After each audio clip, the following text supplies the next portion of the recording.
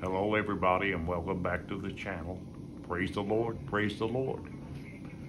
My name is Kenny, and as I'm just going to bring you a quick update, folks. I had prostate surgery yesterday, and I'm all hooked up, and I'm, I'm in my hospital room.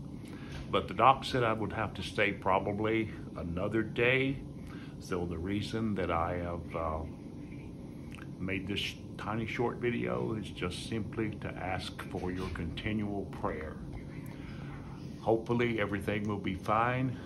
Prayerfully everything will be fine. And uh, surgery went well, just hooked up to a lot of stuff.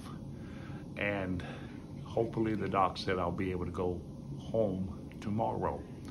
Uh, I've been on liquids. I haven't uh, ate any solid food up until this point. I'm going to try some this afternoon for lunch. But the reason I just simply wanted to update you and say to you that I've had the surgery, my prostate has been removed, and I'm currently in the hospital. My daughter is with me, but I just want to continually ask for your prayer. So keep us in your prayers, and I appreciate you so much. So God bless you, and thank you so much.